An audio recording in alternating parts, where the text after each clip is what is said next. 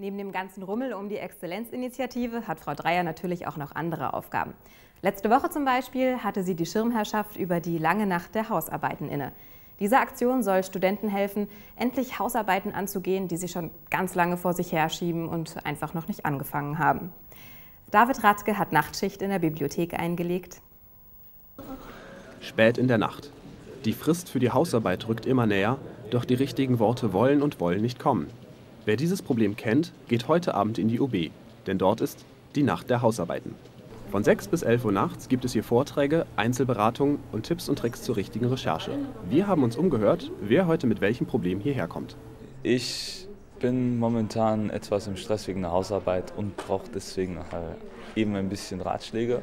Ja, wir haben es einfach halt, also überall die Flyer gesehen in der Uni und haben uns gedacht, das ist ja eigentlich ein interessantes Angebot, wir nutzen das. Also mich hat eigentlich nur das Recherchieren interessiert, weil ich eben noch keine Hausarbeit geschrieben habe und jetzt im dritten Semester bin und noch zwei Stück schreiben muss. Ich habe den Anfangs-Einführungskurs in die Bibliothek am Anfang vom Semester verpasst. Ich bin schon ein Drittsemester und ich komme jetzt erst in die Situation, meine erste Hausarbeit zu schreiben. Und da entwickelt sich langsam so ein bisschen Nervosität, muss ich sagen. Gerade so in den ersten Semestern hat man sich schon da ziemlich im Stich gelassen gefühlt. Die Studenten nehmen das Angebot gern an. Die Veranstaltungen sind in der Tat so sehr überlaufen, dass zusätzliche Sitzmöglichkeiten geschaffen werden müssen. Das merken auch die Organisatoren. Ich gehe davon aus, aufgrund der guten Resonanz, dass die Veranstaltung wieder, sich wiederholen wird. Nach dem Ende des offiziellen Teils bleibt die UB selbstverständlich weiterhin geöffnet.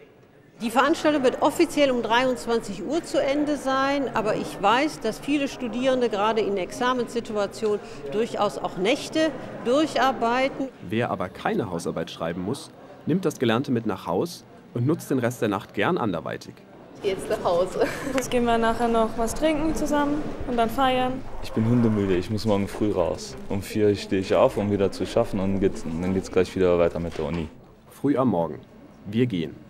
Wir sind nicht die Letzten. Wer jetzt noch hier ist, kann nicht für ein Interview gestört werden. Aber spätestens, wenn um 6 Uhr früh die Putzkolonne kommt, wird auch der harte Kern nach Hause gehen müssen.